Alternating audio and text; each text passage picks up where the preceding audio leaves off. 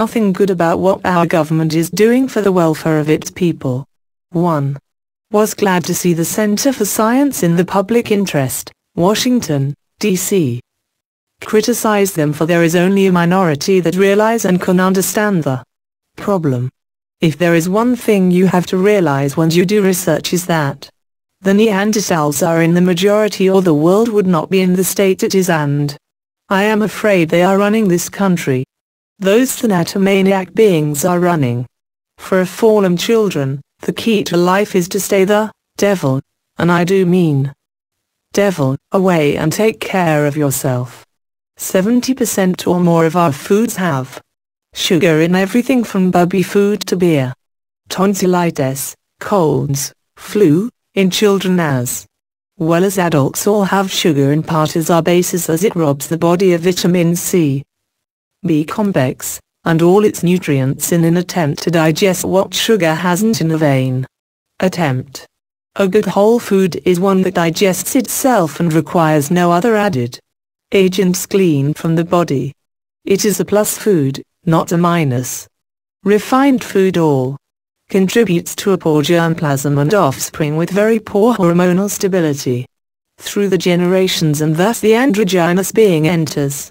But let us return to the androgynous people of another time and to one of the results of androgynous women.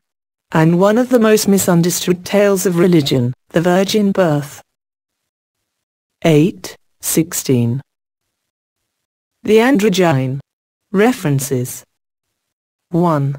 The Virgin Birth, the famous debate between Herbert M. Shelton, MD, DC, and J. R. Clements, MD, DC, Health.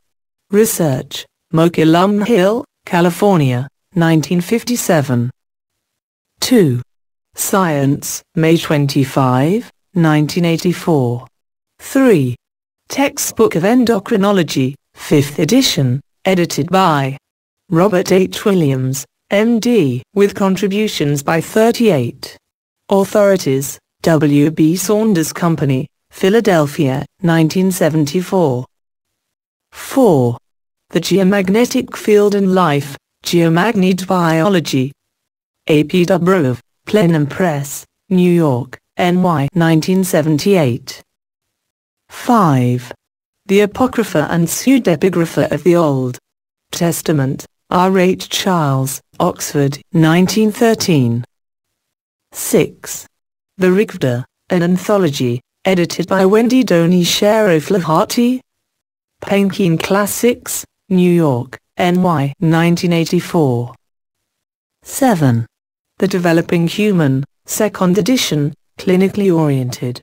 Embryology, Keith.